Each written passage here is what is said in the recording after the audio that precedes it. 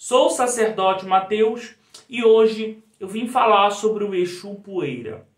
É importante lembrarmos que meu principal intuito com esses vídeos é falar um pouquinho das características gerais de Exu e Pombogira.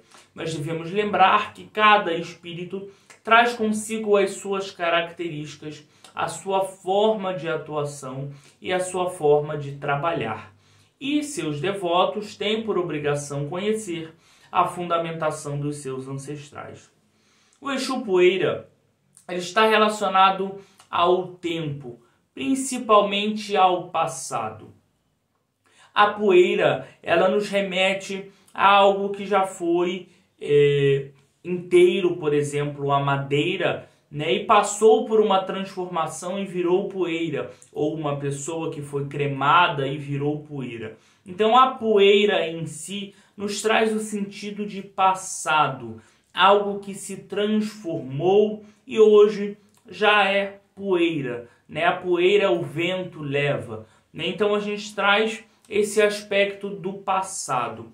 E esse Exu trabalha muito em questões relacionadas ao passado. Por exemplo, numa situação onde um pai não se dava bem com uma filha e esse pai veio a falecer. E esse espírito acaba prejudicando muitas das vezes a filha por ter, por ter essa rincha, por ter essa é, dificuldade em si de aceitar essa, essa briga deles. Então o Exu Poeira ele vai trabalhar para apaziguar essas situações, situações que estão relacionadas ao passado, brigas do passado, mágoas do passado, as coisas que estão no passado. Então ele consegue também retirar traumas e problemas que a pessoa passou é, ao longo da sua vida. E ele consegue transformar isso em algo positivo. Então, às vezes, a pessoa tem um trauma muito grande é, que afeta a sua vida, que afeta os seus caminhos, o seu psicológico.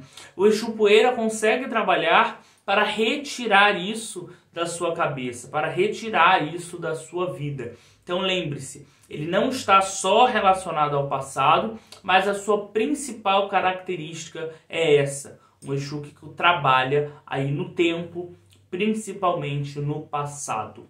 Eu espero ter esclarecido um pouquinho sobre esse grande Exu. Caso vocês tenham alguma dúvida, queiram sugestionar algum vídeo ou até mesmo marcar uma consulta ao oráculo, é só chamar no direct. Mojubá a todos.